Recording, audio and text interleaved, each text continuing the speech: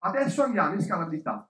Quindi ipotizziamo che io abbia lanciato il mio prodotto o servizio o sono una startup e ho lanciato e quindi a questo punto le cose vanno bene. Inizio a mettere i motori alla mia bicicletta che all'inizio volevo fare il mio viaggio per capire se il panorama è ok. A questo punto metto i motori, inizio ad andare a un'altra velocità, ho, eh, eh, ho la mia macchina che funziona, da aggiustare continuamente, però la mia macchina che è funzionale, a questo punto non ha riscalabilità. Ho un problema. La prima cosa dovete sapere è che la crescita non sempre è una cosa positiva. La crescita drena soldi, la crescita aumenta la confusione, la crescita fa aumentare i costi. Quindi tutto bello, mi piacerebbe dirvi che è tutto bello, ma in realtà dei fatti l'abbiamo visto su di noi, lo vediamo nelle aziende che noi eh, siamo riusciti a, veramente a, a scalare, dobbiamo stare molto attenti a quest'area qua.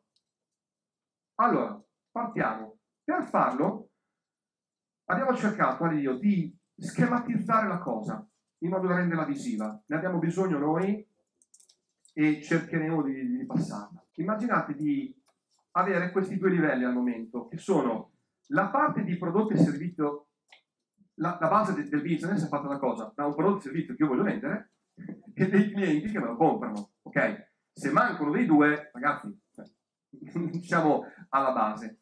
Nel momento in cui avete lanciato, cosa succede? Che entrambe le aree, quindi la parte bassa di prodotto e servizio, dovete immaginare che iniziano ad espandersi. Quindi il mio prodotto e servizio l'ho fatto crescere di qualità, di, di, di, di caratteristiche, di elementi, i miei, sui miei clienti sono la cosa più importante che ho. Quindi il cliente è la cosa più importante. Un'azienda che non ha clienti non è un'azienda. Ok? È un bel sogno. Quindi sul lato clienti potremmo entrare, aprire questa scatola qua e sul lato, chiamiamola customer care, vi potrei dare una valanga di informazioni utilissime e specifiche. Non entrerò nei dettagli, voglio solo Voglio solo darvi un concetto che è questo qua. Lato clienti, perché il prodotto e servizio è il vostro siete voi che dovete sapere come migliorarlo in base ai feedback che continuamente ricevete, il customer care dovrebbe rispondere a tre domande, a tre ostacoli. Il primo è risolvo il problema. Cosa chiedete quando avete un problema e chiamate un customer care? Che ovviamente ve lo risolvono. Ok? Ma non è finita qui se volete fare un customer care di eccellenza, la seconda cosa non deve essere impegnativo per le persone. Cioè te lo faccio in modo facilissimo per te. La terza cosa, se, se riusciamo a farlo e siamo anche simpatici, boom. Questo diventerà una leva di marketing che le persone diranno wow, ho chiamato la tal cosa, ho questo problema, me l'hanno risolto, non ho dovuto fare nulla e sono stati anche carinissimi. Quanto prende nella nostra percezione la qualità di quella tipologia di azienda? Ricordatevi che il basamento di ogni business sono i prodotti che ho, i servizi che ho e ovviamente i miei clienti. Sono la cosa più importante. La seconda cosa, ovviamente, che devo avere è la macchina di crescita, quindi quello che abbiamo appena parlato. E come macchina di crescita, quali sono i quattro elementi per provare a sintetizzare il tutto in ciò che abbiamo visto? Sono Ovviamente avere una strategia chiara, strategia chiara, chiarezza, devo avere una roadmap che mi permetta di dire ok, faccio le varie cose. Ragazzi, sbagliare la roadmap vi crea problemi, è un elemento importante. Il piano di esecuzione, progettarlo, quando lo facciamo, chi lo fa, è importante. La terza cosa sono le KPI, dovete avere dei numeri su quello che riguarda il processo di vendita barra commerciale e ovviamente andare in esecuzione. Questi quattro blocchi dovrebbero un po' sintetizzare tutta la macchina di crescita. Però, se fate caso, da questo punto di vista, dalle basi che ho creato, lato, chiamiamolo prodotto e servizio e il mio cliente, e sul secondo livello, che sono la macchina di crescita, in realtà voglio arrivare ad arrivare alla S che non è quella di Superman ma è della scalabilità. Io vorrei arrivare qua.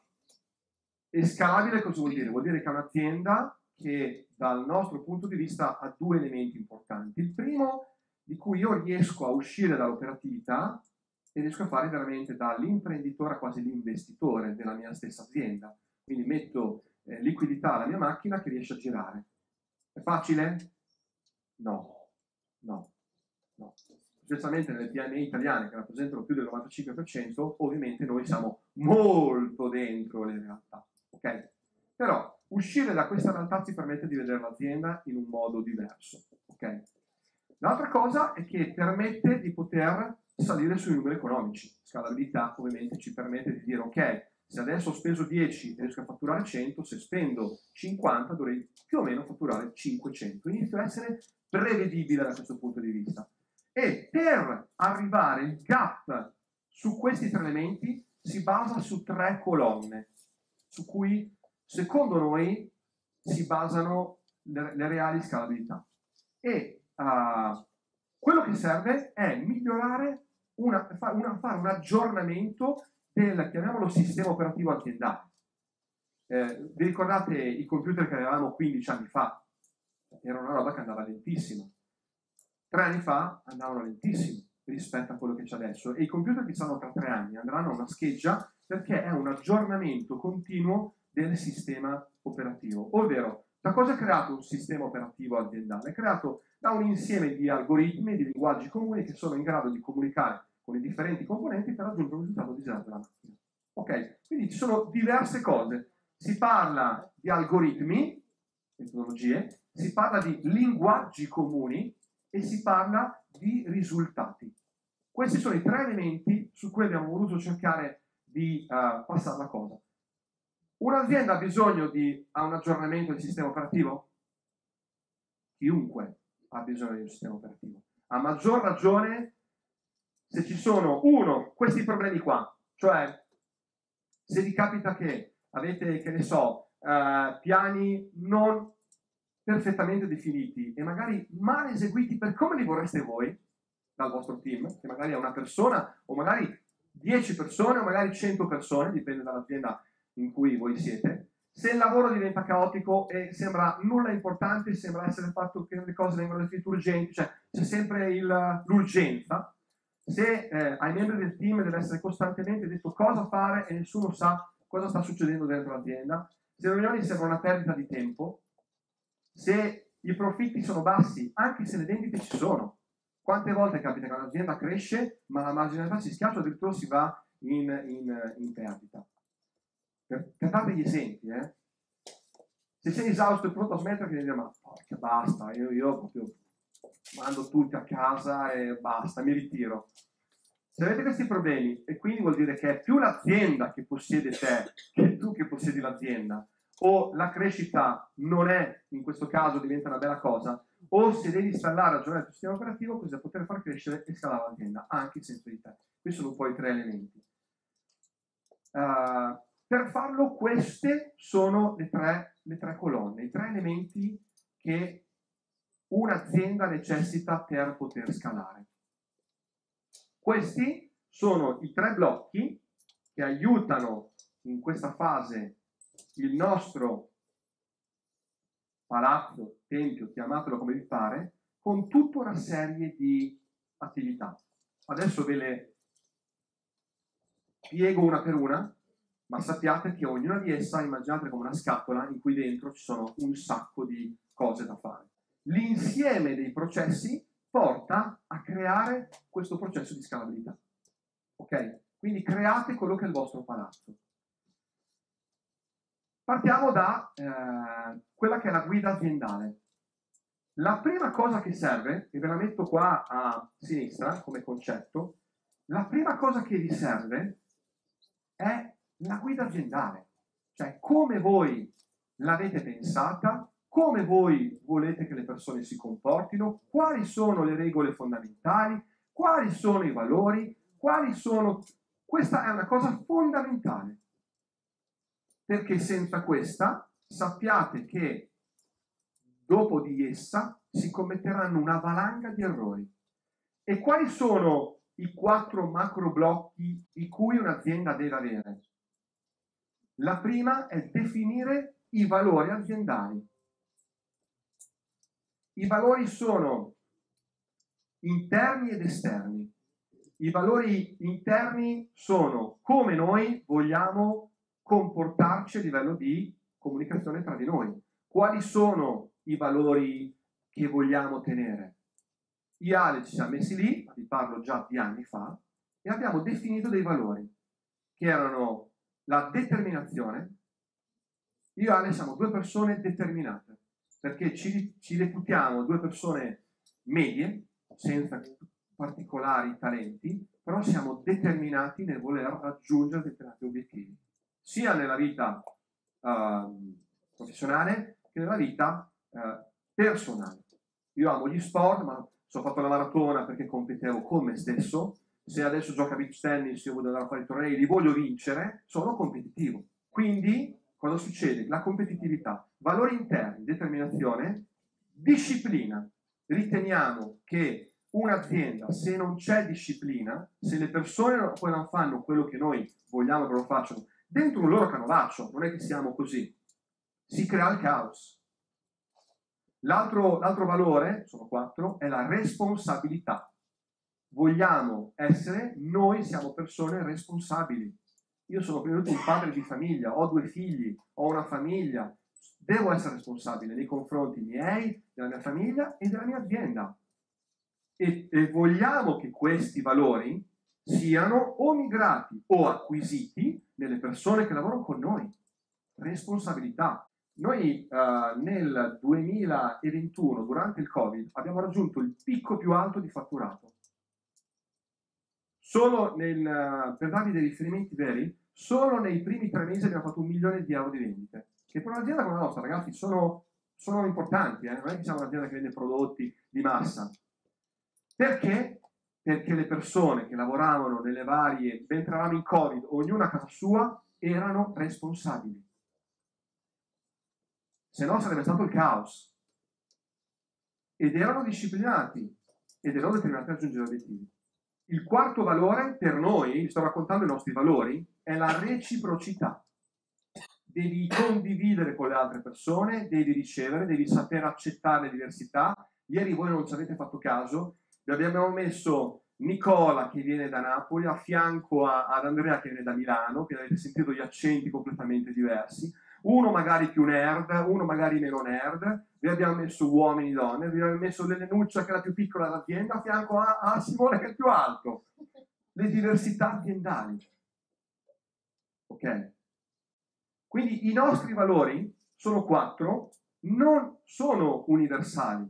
Ogni azienda deve definire i propri valori, che partono dal fondatore o dai fondatori e cambiano le regole di tutto quello che è l'azienda che arriverà dopo. Perché a quel punto, quando io ho quattro valori, secondo voi, quando devo assumere una persona, cosa guardo? I valori. Ragazzi, l'errore di prendere persone che erano talenti bravi in determinate aree, ma non avevano valori, l'ho già pagati qualche mese fa e non lo commetterò mai più. La prima cosa che guarderò, che guarderemo, Prima chi sei come persona, un bravo professionista, ti faccio diventare io. Chiaro come messaggio? Quindi un'azienda che non ha valori, non ha, è come un marinaio che sta andando con la propria barca, va più o meno, va in quella direzione lì. È un errore che se volete diventare scalabili non vi potete più permettere. Ma come? Eh? Come li valuti? I valori? Eh. Sono i tuoi. No, no, no, ok, ma nella persona che scegli. Allora, andiamo all'operatività. Non è facile, Pro- no, no, no, no, no, no, no, non è facile, ma è possibilissimo. Nel senso che sui valori, la prima cosa che devi fare è valori interni, sono quelli che ti ho appena detto, e Sì. decidere i valori esterni, cioè che è quello che poi in gergo viene chiamato tono di voce. Se fate caso, il nostro tono di voce è molto, molto easy going, molto, molto, ehm, a volte, a volte parlate di umanità, no? Perché? Perché noi abbiamo sempre pensato che il business è fatto di persone. I tuoi clienti sono persone, i tuoi fornitori sono persone, i, i- i tuoi collaboratori sono persone. Se tu non sai a che fare con le persone, non sai fare business. Quindi i valori partono da te, poi in fase di selezione, questa è la tua domanda, Sì, sì. Molto semplicemente cerchi di fare una serie di domande dove il passato è la cosa più importante da dover analizzare. Non è il curriculum. Il curriculum, ragazzi, potete anche proprio non guardarlo. È una chiacchierata che fate con le persone, una serie di domande che fate, fatene tre su ogni valore, e per la più banale la determinazione, mi racconti nella tua vita quali sono state delle, delle situazioni che ti sono capitate, nella quale eri in difficoltà e di come ne sei uscito. E poi zitti e ascoltate, cosa difficilissima per tanti, eh? Zitti e ascoltate. Ricordatevi che nella, uh, io l'ho fatto per tanti anni, uh, nella ricerca di selezione del personale, uh, io vengo da quel mondo lì, per assurdo, chi domanda comanda, è una delle regole più importanti. Simone dice chi domanda vende, e ha ragione, perché giustamente il commerciale è quello. Nelle risorse umane chi domanda comanda, domandare, scrivere, domandare, scrivere e chiedere, mi dici di più, mi puoi dire che altro, approfondire su quello che ci raccontano le persone. E li capite se vi stanno raccontando delle balle. Quindi è, fai domande legate ai tuoi valori. Di base creati uno schema tale che ti permetta di cercare di capire sui valori che ti hai definito le persone cosa sono. La prima cosa che devi fare è definire i valori. Cosa vuoi comunicare? Cosa ti piacerebbe comunicare? Che alle volte questo non succede. Alcuni di voi comunicano in un modo che non è in linea con chi siete realmente. Ne parlavo anche l'altro giorno con un nostro cliente bravissimo, fortissimo, consulente molto forte di Bologna, gli dicevo, tu non stai comunicando chi veramente sei, ed è un peccato. Comunica chi sei veramente. E, e, quindi questo è importante. Valori interni ed esterni. Ok? Il secondo elemento è lo scopo. Ora, io lo so che esistono mission, vision, però nella realtà dei fatti, secondo noi, sono molto, sono molto confuse le cose. Quello che fa Google, quello che fa ehm, altre tipologie di aziende, è in realtà comunicarti quella che è la, la, loro, la loro, proposta, no? come vogliono comunicare. Google vuole essere il motore, eh, de, de, la democrazia della ricerca per tutte le persone, vuole facilitare questa tipologia di comunicazione. Noi cosa vogliamo fare? Noi vogliamo aiutare gli imprenditori a, a crescere loro per far crescere la loro azienda. Cioè, qual è alla fine la cosa finale che tu vuoi dare nella tua azienda? Come vuoi dare il tuo impatto nel mondo? E questa è un'altra delle cose da, da studiare, da valutare perché rappresenta la tua comunicazione, specialmente esterna. E poi arriviamo agli obiettivi. Diventa molto molto importante definire degli obiettivi. Gli obiettivi sono di uh, quattro livelli diversi, ma almeno la visione a lungo raggio la dobbiamo avere tutti quanti, che magari è una a tre anni, quella un po' più operativa, una a dieci, cioè immaginate proprio la, la, la scalata del mondo, del, del, monte, dove andremo noi? Noi andremo lì, tra dieci anni noi saremo questi. E, e tu inizi a lavorare su quella direzione. Se tu imprenditore non hai visione a lungo termine, fai veramente fatica a passarla alle altre persone, rimarrà tutto molto molto molto molto piano, molto, molto corto come tipologia di, di visione. Quindi avere una visione a 10 anni, Oggi io ho 48 anni ancora per qualche giorno. Tra 10 anni a 59 anni, dove sarà questa azienda? Chi sarò io? Come sarò fisicamente? Che proprietà potrei avere o meno? Avere una visione vi allarga, vi fa espandere un po' di tanto quella che è la vostra visione, lo di business e anche personale. E a tre anni. A tre anni è molto più concreta, chiaramente. Avere una visione a tre anni e lavorarci probabilmente è l'obiettivo più importante che dovreste avere. Generalmente i piani finanziari o i piani industriali che richiedono gli investitori, generalmente almeno cinque anni.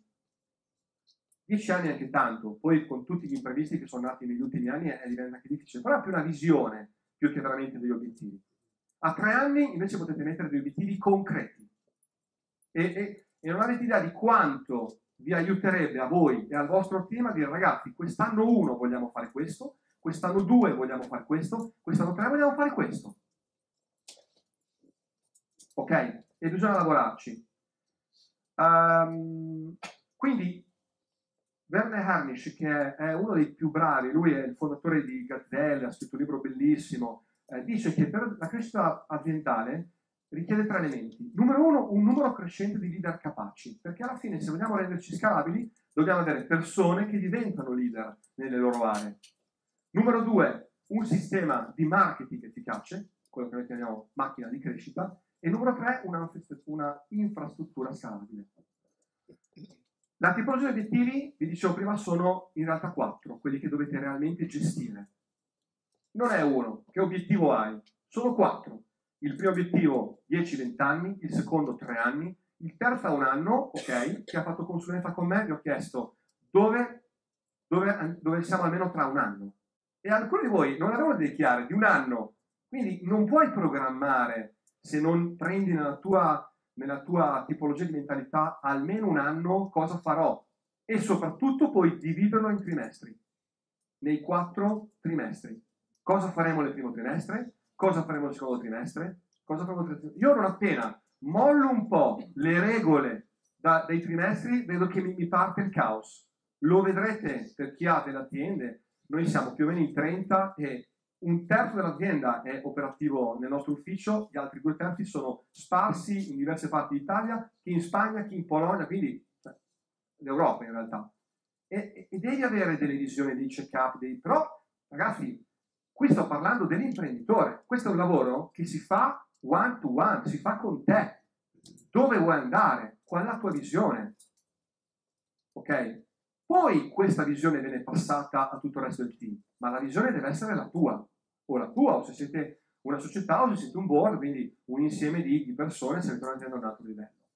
Ieri eh, Giorgio eh, Pecorari ha citato eh, Ray Dalio, io questo libro me lo sono letto, è un libro molto bello, Uh, qui è in inglese, ma in realtà l'hanno tradotto proprio qualche mese fa uh, anche in italiano, ve lo suggerisco. Lui è l'investitore di riferimento di Tony Robbins, tanti, tanti personaggi di un certo livello, di un certo calibro, e questo è il suo schema. Lui dice, la vita è fatta di, um, di ostacoli, ma la reazione che tu puoi avere, li combatto, lo Stato, il governo, Draghi, Meloni, tutto quello che è, oppure li abbraccio e cerco di gestire a modo mio.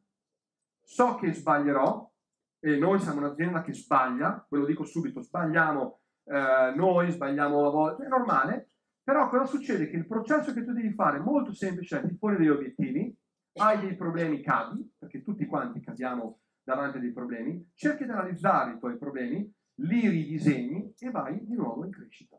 Quindi il classico disegno della scalabilità, quello fatto così, no? È una chimera, in realtà dei fatti è, è più che altro così, ecco, come, come tipologia di principi che uh, dà come aspetto. Darwin diceva che un'azienda, una Darwin, io ho modellato un po' Darwin, l'azienda è un organismo vivente che sopravvive in un ambiente in continuo cambiamento ed è una dinamica continua. Non esiste una cosa stabile, l'ho fatta, l'ho disegnata, è scritta sulla pietra. No, non è così sarà in perenne cambiamento, è una barca in perenne cambiamento. E lui ha questo schema che io trovo molto molto carino, in cui da una, se io creo una macchina che mi porta da, da, da, da dei goals, dagli obiettivi, a un risultato attraverso una macchina che è fatta come? Da persone e da un progetto, da un design, e le persone devono avere delle capacità, delle abilità e devono imparare delle cose. Se sommiamo questo, riusciamo ad avere vedrete tanti schemini del genere che sono molto semplici, molto molto molto carini. Uh, un'altra cosa che vi ho voluto portare tra i vari spunti è quello che dice, mancato qualche, qualche mese fa, Bob Proctor che diceva non sei tu che devi essere all'altezza dei tuoi obiettivi, sono i tuoi obiettivi che devono essere alla tua altezza. E alla volta noi ci poniamo automaticamente dei limiti quali sono gli obiettivi che io voglio e che la mia visione mi porta, famoso no, a volte puntare uh, sulla luna per arrivare alle stelle. Quindi la guida aziendale è come tipologia di colonna un qualche cosa che deve lavorare nell'azienda. Devo avere dei valori, devo avere degli scopi, devo avere dei, degli obiettivi, devo avere delle visioni chiare per me che voglio fare l'imprenditore. Questo è un po' il messaggio che voglio passarvi su questo aspetto qua. Abbastanza chiaro? Più o meno, fatemi qualche domanda, così mi aiutate a capire Valori esterni. I valori esterni è un modo di comunicare. I valori interni, che secondo me sono molto più importanti, sono in realtà le regole anche di comportamento della tua azienda. Noi per esempio abbiamo, e fa parte dei valori all'interno in azienda, in cornice, eh, quello che chiamiamo il manifesto o costituzione. Abbiamo otto regole che servono come comportamento interno e le persone ogni X tempo, adesso vi faccio vedere in un'altra tipologia di colonne, viene utilizzata per dirle, ridirle e ridirle e loro quando hanno un approccio con una persona dovrebbero avere ormai mentalizzato queste tipologie di regole interne, di valori, di comportamento, in modo tale da seguire questa tipologia di comportamento. La prima, la prima regola di Funnel Company è l'ambiente che costruiamo ogni giorno ha come obiettivo principale quello di fornire il massimo valore possibile ai nostri clienti tramite formazione, consulenza e sviluppo. Quindi una persona che entra in azienda, cosa deve capire? Noi dobbiamo dare il massimo. La regola, la bella cannonata, no? Chi non lo fa non sta rispettando i valori interni. Regola numero due, la diffusione della cultura del marketing è il nostro fondamento ed è indirizzata ad aziende guidate da imprenditori o aspiranti imprenditori che vogliono aiutare nel loro percorso. Quindi è un po' più specifica alla diffusione del marketing. Tant'è ora che noi siamo una società che più diffonde, diffonde contenuti gratuiti a livello di marketing. Numero 3, crediamo che la libertà di azione in termini di orari, luoghi, modalità e operatività sia l'ambiente migliore in cui si possa raggiungere gli obiettivi preposti. Quindi, se vieni da noi, sai che hai una libertà di intenti. Numero 4, la concretezza di focus e intenti è il, miglior, è il modo migliore per portare a termine i propri compiti, massima responsabilità. Quinta regola, il massimo rispetto reciproco. Guardate che eh, i quattro valori ve l'ho detti, quindi vedete come ritornano responsabilità, reciprocità. Il massimo rispetto reciproco tra i vari dipartimenti, collaboratori, partner e clienti è fondamentale al fine di creare un ambiente operativo sereno e positivo. Quante volte abbiamo dovuto riprendere dei nostri dipendenti o collaboratori, guarda che questo scherzo che state continuamente avendo tra voi due sta creando dei problemi, non stai rispettando i nostri valori, risolvetela, fatene una chiacchierata. Noi vogliamo un ambiente in cui è reciproco, non dobbiamo per forza essere tutti amici ragazzi, però deve servire.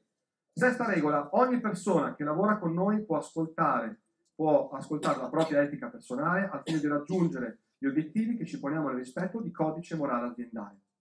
Settima, il nostro ambiente è creativo, dinamico e innovativo. Proprio per questo tutti possono apportare idee, esperienze e contributi, sapendo che il giudizio che riceveranno sarà basato su dati oggettivi e professionali e che al contempo non ci saranno critiche infondate o soggettive. Non avete idea di quante aziende la gente si limita a fare il proprio compitino perché ha paura di essere giudicata nel portare valore. Un'azienda come la nostra, che non dico che è tecnologica, ma utilizza molto la tecnologia, se non c'è innovazione, da parte dello studio delle persone, come fa a crescere? Ascoltiamo quello che dicono le persone perché portano valore aziendale.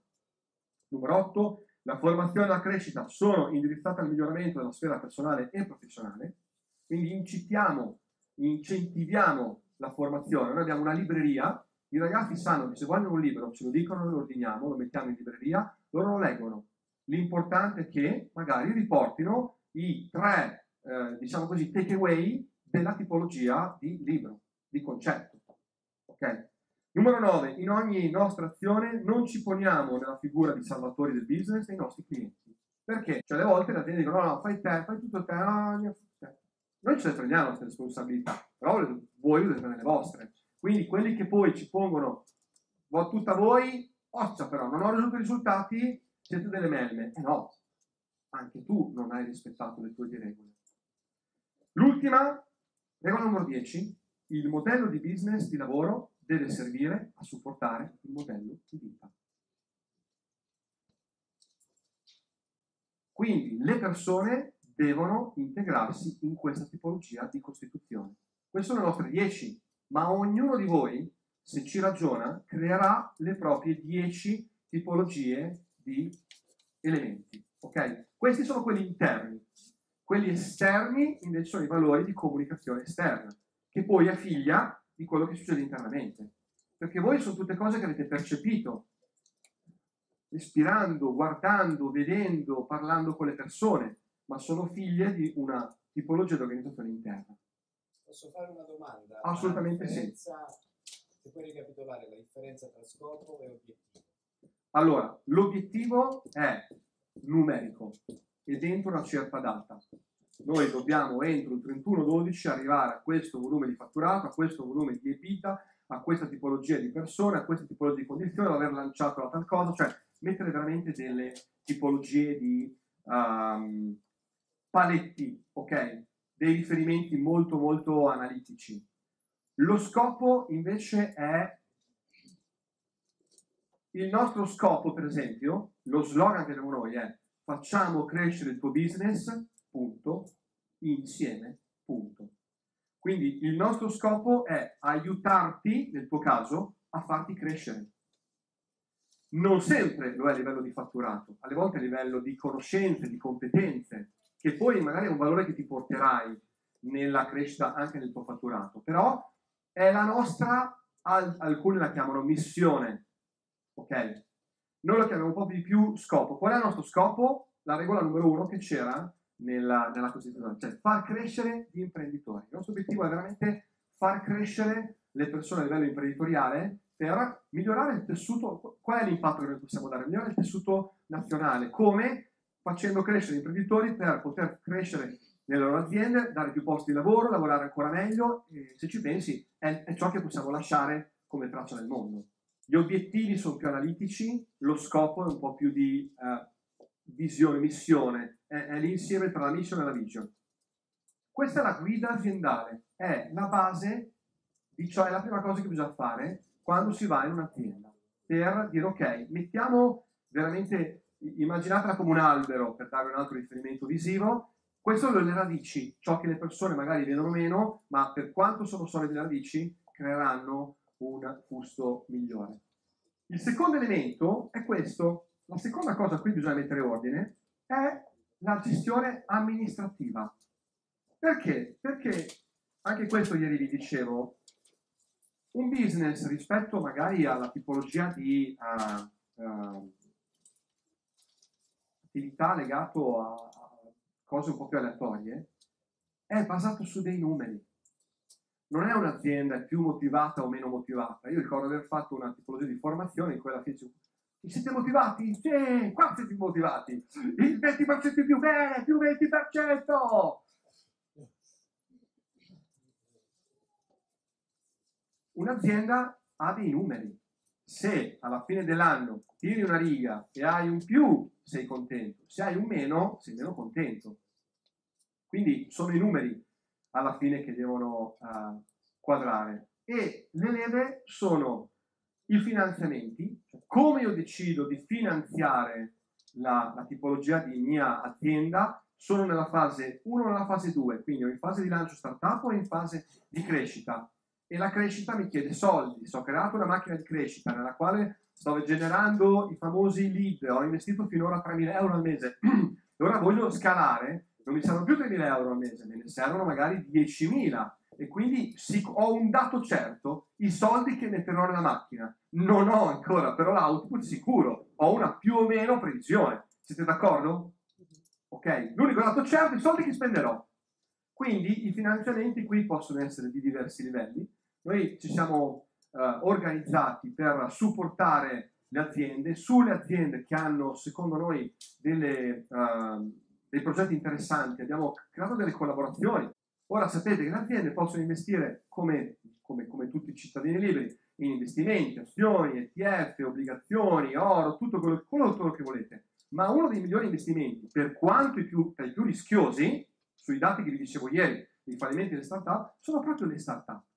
Esistono tantissime cose. Ne parlavamo proprio due settimane fa che eravamo insieme in, una, in un evento in cui abbiamo fatto da, da, speaker e una di queste aziende ci diceva oggi, rispetto a dieci anni fa, esistono dieci volte di più i soldi da investire in aziende. Quindi le aziende, ragazzi, gli investitori vogliono idee, vogliono aziende che sono scalabili, vi premiano. È una figata, ragazzi. I soldi ci sono.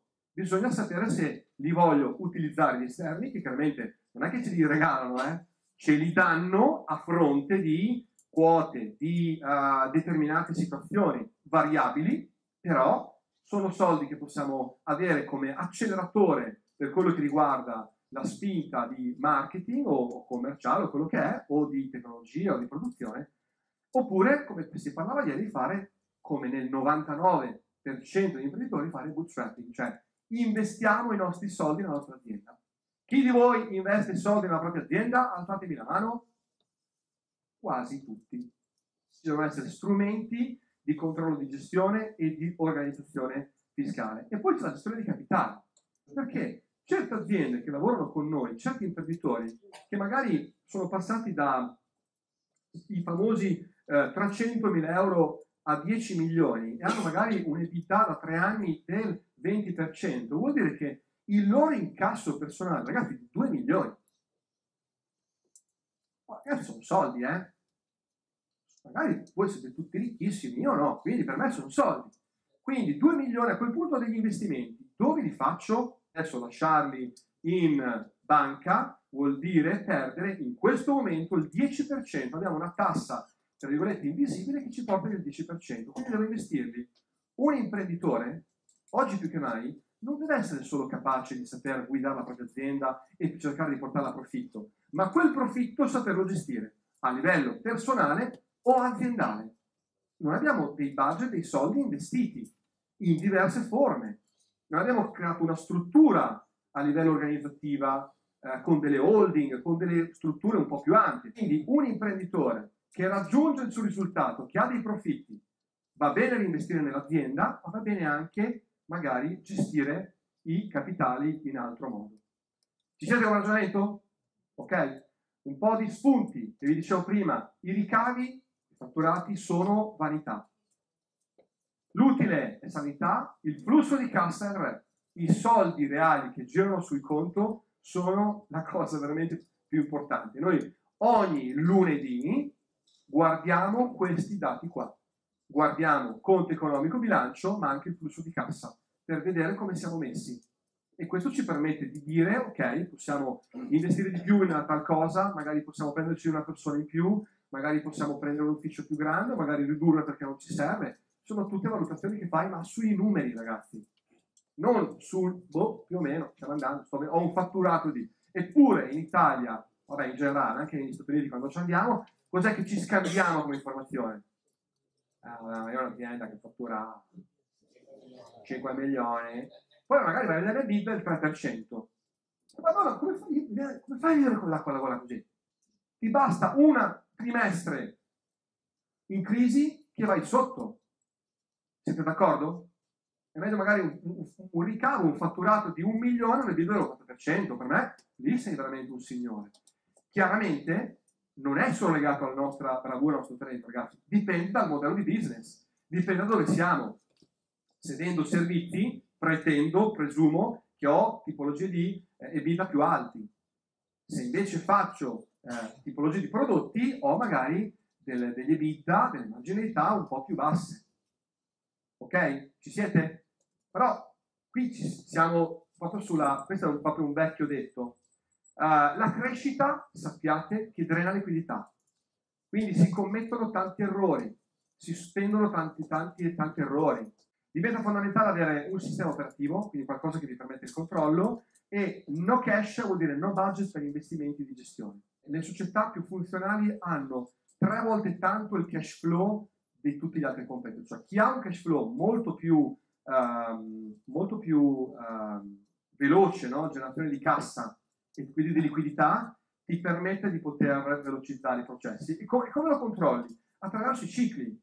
Nel ciclo della conversione del denaro, da quando io vado alla parte di vendita a quando io vado alla parte di pagamento, più io riesco ad anticiparlo, ovviamente meglio è.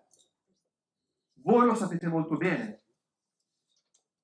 Noi sul flusso di cassa l'amministrazione è abbastanza rigida, alle volte anche troppo, ce ne rendiamo conto lo sappiamo molto bene, ma è, nel, è nella loro procedura di emettere fattura prima di eseguire il lavoro. Perché? Perché in passato, ovviamente, abbiamo fatto il lavoro, Sì, ti pago, ti pago domani, dopodomani, dopodomani, scomparsi e noi abbiamo fatto questo lavoro. Prima prendi i soldi, ragazzi, meglio è. Quando tu hai i soldi hai il potere in mano, al di là dei contratti, al di là degli accordi. Tu sei una persona onesta, non lo metto in dubbio, dall'altra parte pensi che sei una persona onesta, non lo metto in dubbio, ma purtroppo non sempre succede. E quindi devi agire in un certo modo. Ok? Quindi quando tu riesci ad anticipare il ciclo di vendita o il ciclo di produzione magazzino rispetto al ciclo di consegna e il ciclo di fattura di pagamento, riesci a farlo prima, tanto meglio. Prima i soldi in mano, meglio è. A brevi tempi di ciclo, elimini gli errori, migliori il modello. Perché? Nel modello di business vai sempre a migliorarlo. Se per esempio stavi facendo un pagamento dilazionato, noi per esempio con con ancora tanti di voi ci avete un pagamento dilazionato, però abbiamo implementato lo strumento di DataPay che è un po' più automatizzato. Perché? Ma semplicemente perché facciamo un accordo, l'abbiamo deciso, bene, io non voglio più pensare a quando tu dovrai darmi i soldi. Abbiamo deciso che non mi paghi tutto subito, mi paghi in due rate, mi paghi in 12 mesi, faccio un esempio. Va bene, ok. Però abbiamo, abbiamo stretto una mano e basta. Non voglio ogni mese rirognare sui pagamenti. Sprechiamo energia, roviniamo un rapporto, concentriamoci solo sulle cose che contano. Io ciò che devo dare a te, tu ciò che devi dare a me. Siete d'accordo? Quindi quello diventa un elemento importante perché durante il processo di lavoro certi bug avvengono e ovviamente li devi affrontare e vai a modificare, vai a mettere certe esperienze, vai a modificare i contratti, vai a modificare gli accordi. Alright, quindi questa è un po' la gestione amministrativa. Quindi la seconda cosa per renderli scalabili è l'aspetto di uh, gestione finanziaria. Dovete prendere un controllo chiaro di ciò che è l'aspetto finanziario. Non vuol dire che dovete diventare dei commercialisti, ragazzi, a ognuno il proprio mestiere. Ma voi avere il controllo, sì.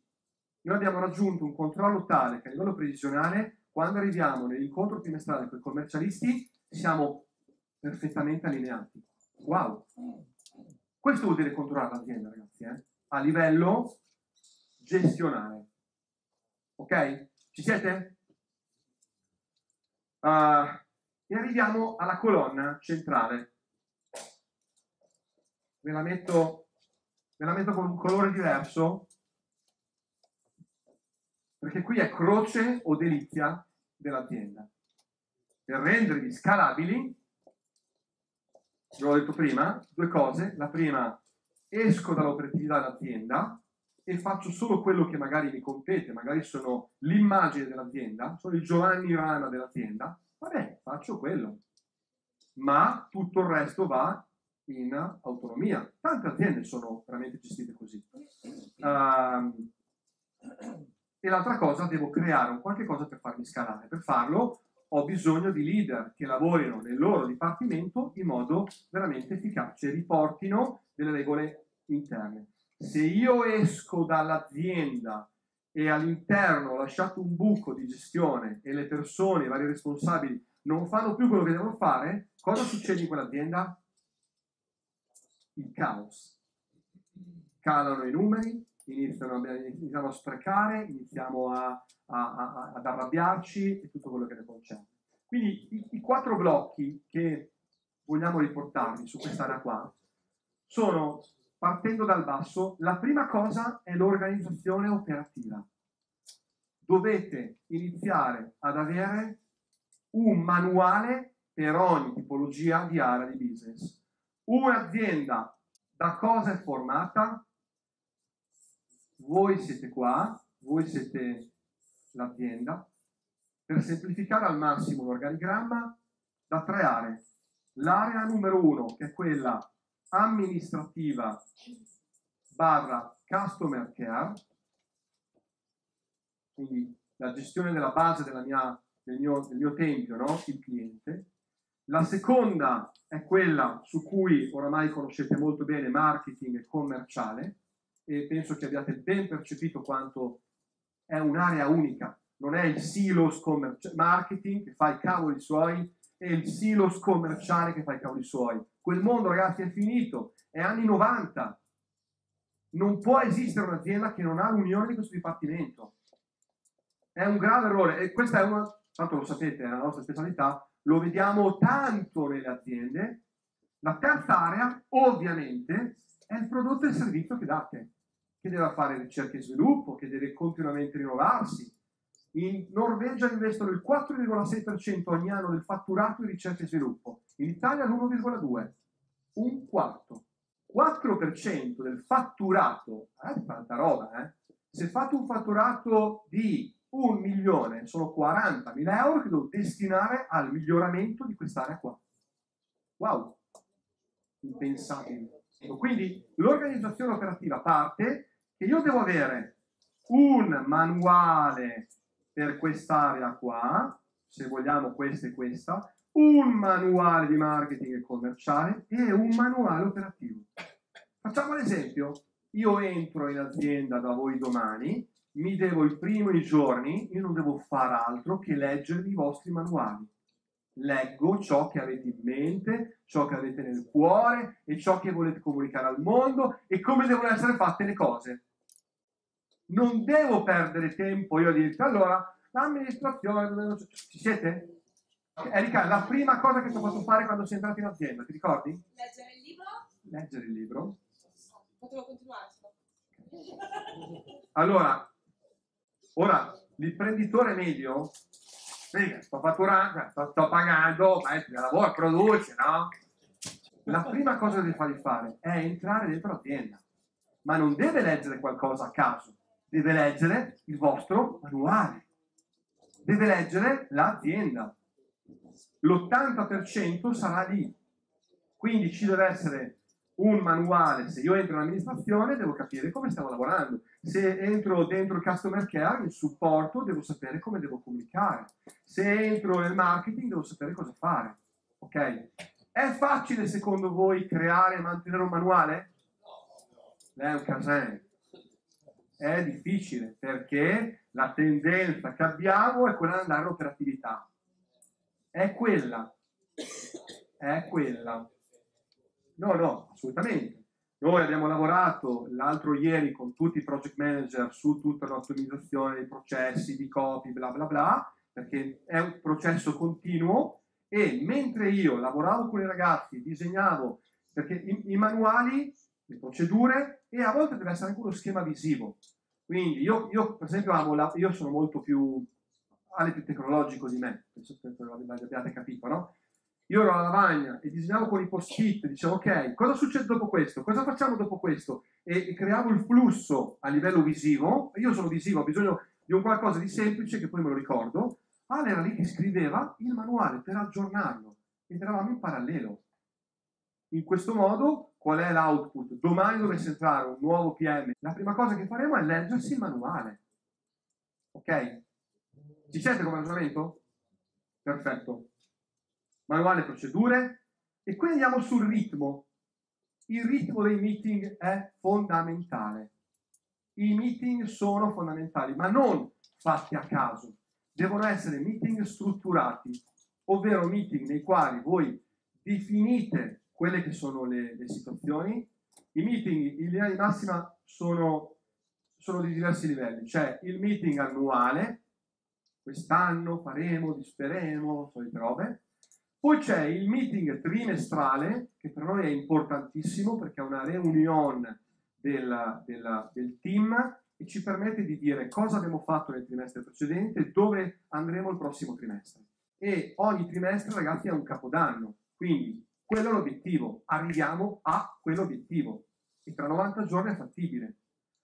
Poi ci sono i meeting settimanali, dove il team, noi per esempio lo facciamo con tutti i responsabili ma lo facciamo insieme anche al team marketing commerciale. Qui ragazzi ci sono i setter, eh? infatti sono tre dipartimenti per noi, marketing, setter, commerciali. E in questo contesto qua è molto bello, uno perché l'azienda sente il contatto col cliente. Partiamo dai commerciali, qual è il vostro feedback? Abbiamo questi feedback qua, abbiamo queste situazioni. Ok, setter, come sono gli appuntamenti che avete fissato? Perché abbiamo questo spostamento? Ok, marketing, come possiamo tarare la quadra per comunicare meglio. E mentre succede questo, che è un'operatività in esterna, l'azienda percepisce l'amministrazione, il customer care, quello che è la tipologia di, uh, di, di movimento, di come si muove il mercato. I meeting perché sono importanti? Perché quando vi cresce un'azienda, la complessità aumenta in maniera esponenziale. Se voi foste in due, le startup sono in due, è facile, la comunicazione è io a te, te a me, è a due. Ma quando diventate già tre, la comunicazione diventa sei. Quando la comunicazione diventa a quattro, ragazzi, è un più 400% e nasco, nasce il casino. Vi è mai successo nelle vostre aziende? Ok. Quindi la complessità organizzativa deve essere fluida da degli elementi scritti, da tutto un insieme di situazioni, ma de, da un ritmo cadenzato. Mettete dei ritmi specifici che vi permettono di poter gestire meglio le persone e devono fuori un sacco di cose a livello gestionale. D'altra parte, però, l'unico modo per far crescere un'azienda è prima far crescere le persone che la appartengono. Se non crescono le persone, non, non creerete il vostro team di marketing, il vostro team commerciale. All'inizio dovete investire su queste persone.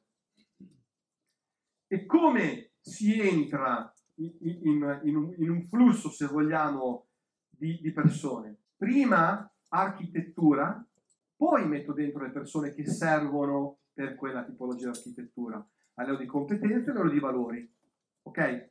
Quindi, quando però avete preso la persona, se fate caso, non è niente di diverso che quando fate marketing per trovare nuovi clienti. Quindi, prima cosa faccio? Identifico il mio cliente ideale, faccio un'azione di marketing per reclutarlo, faccio un'azione di, uh, di conversione per selezionarlo, poi lo inserisco, devo avere un piano di inserimento, un minimo di formazione. Vi parlavo prima dei manuali, vi parlavo di ok, la prima cosa devi fare è questa, poi la seconda cosa che dovrai fare sarà questa, la terza cosa che sarà questa, poi sei pronto. Le ragazze sono due, da due settimane che sono con noi, finito questo evento inizieranno l'attività, ma non abbiamo fatto a fare il giorno 1, prima inserimento, poi allenamento, dalla prossima settimana inizieranno a fare un'azione di outbound fatto in un certo modo. Quindi questo è il processo che dobbiamo fare quando vogliamo allargare le persone. Sappiate che le aziende che investono nelle persone hanno due vantaggi. Il primo, aumentano i propri ricavi. La seconda, hanno persone più fedeli. Perché le persone che stanno con noi vogliono crescere, non solo a livello finanziario, è normale, ma non è quella la prima cosa. Vogliono crescere come persone, come esperienze, come competenze. Giusto? Quindi se noi le facciamo crescere rimarranno con noi e saranno più fedeli. E perdere un talento per ripartire da capo, ragazzi, è un, è, è un problema per un'azienda di un certo tipo, eh? anche a livello economico. Quindi la domanda che devi fare è questa. Oggi saresti disposto ad assumere tutti di nuovo da capo? Cioè il team che hai è il giorno zero, hai le persone a fianco a te. È, è cruda come domanda, ma la stessa cosa va fatta da me imprenditore ai miei collaboratori, dai miei collaboratori, è ancora oggi l'azienda in cui io voglio stare? Eh.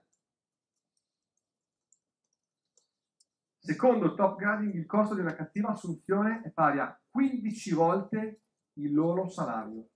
Quindi se voi assumete una persona sbagliata, il team vi dà un danno ben superiore a quello che è la tipologia di approccio. Quando invece siete con una squadra, siete in meeting, magari noi lo facciamo trimestralmente parlando, ma voi potete farlo anche sia in esterno con i vostri clienti, sia in interno, le tre domande che vi dicevo ieri. Cosa secondo te la società dovrebbe iniziare a fare, cosa dovrebbe smettere di fare, cosa dovrebbe cominciare a fare. Guidate le persone nella, nella tipologia di meeting. Vi assicuro che emergono delle cose fantastiche. Per chi ha un'azienda con più di almeno 6-7 collaboratori, dipendenti, quello che volete, emergono delle cose fantastiche che vi danno veramente una grande visione. Il mantenimento delle persone in azienda, che sono il punto di forza, sono valorizzare i loro punti di forza, non demotivarlo e infastidirle. Alle volte il problema dei, de, de, delle aziende è che l'imprenditore è un rompivalle e infastidisce più il lavoro dei, dei propri collaboratori. Definire aspettative chiare, quindi KPI, report, meeting, dare riconoscimenti e apprezzamenti. Pensate che secondo le regole dell'intelligenza emotiva dovremmo darle tre volte a uno. Cioè io dovrei andare da Ilaria, se la mia collaborazione, allora Ilaria, brava, stai facendo un ottimo lavoro, va molto bene. Eh, mi è piaciuto molto la tal cosa che hai fatto con. Mm, questa cosa però va migliorata. Questa cosa va migliorata perché non è in linea con l'azienda, non ha proprio risultati, bla bla bla. Però, ok, andiamo avanti con questo miglioramento qui. 1, 1, ok. Tim Ferris lo chiama comunicazione a toast, no? Ti metto il panino, il prosciutto lo metto in mezzo, la, merda la metto in mezzo e te lo caccio così. Con le mogli il rapporto è 5 a 1. Assumere di meno ma pagare di più. Se avete persone che guadagnano bene, stanno bene con i valori aziendali e fanno un lavoro che ti piace, che motivo hanno ad andarsene via? E allineamento di valori e scopo. E questa è l'organizzazione. Ecco, se fate caso, a livello di struttura, vedete che ho messo le due colonne naturali, cioè la, le parti fondative dell'imprenditore che devono poi passare a tutto il resto, la parte analitica di business, la parte rossa l'ho messa in mezzo perché sull'organizzazione, ragazzi, c'è il mondo da poter dire, come anche nella parte di customer care. Sono tante cose che si possono fare molto molto interessanti, ma questi tre blocchi qua, ragazzi, vi aiutano a passare da questo livello qua a questo livello qua. E quindi vedete che si è dovuto creare un tempio, se vogliamo, o un palazzo che vi aiuta a passare dal livello di crescita al livello di scalabilità. Vi è arrivato un po' il concetto? Mm? Ok? Da dove si parte? Si parte da qua. Si parte da un lavoro per ogni area, andare a vedere in ogni, in ogni azienda come sei messo e dove devi lavorare di più. È un po' come quando io, io giocavo a calcio e, e, dopo X anni decisi di voler fare la maratona. Io però come calciatore ero veloce, ero, giocavo ala per farvi capire, no? Quindi ero, andavo in velocità. Quando andai dall'allenatore che gli dimmi per prepararmi per la maratona, lui mi disse ok, fammi vedere, fammi un giro di 400 della pista, no? Di 400 metri, ti guardo come corri e poi ti dico cosa devi fare. Si mise così e io iniziai a correre e feci il mio giro. Quando tornai, lui mi disse, per te fare la maratona sarà molto duro. Io disse, perché? Perché tu sei uno scattista, sei dalla corsa, sei proprio di quelli... Eh, la maratona invece è una tipologia di corsa diversa, ha più un muscolo bianco che quello rosso. Quindi, quindi dobbiamo fare un lavoro del genere, personalizzato su quello che sei tu. Ci siete con il ragionamento? Bene, quando tu vai in un'azienda, dal mio punto di vista, da quello che stiamo scoprendo sempre di più. Tra l'altro una delle cose che se vorrete potremo fare per darvi una mano, è difficile partire da un punto di partenza questo va bene per tutti, perché siete un settore diverso, avete valori diversi, avete un business diverso, avete budget diversi, avete un mercato diverso, quindi la cosa che bisogna fare è entrare in ogni azienda e dire ok, guardiamo dove sei ora per ogni area, dove possiamo arrivare e questo è il piano di esecuzione.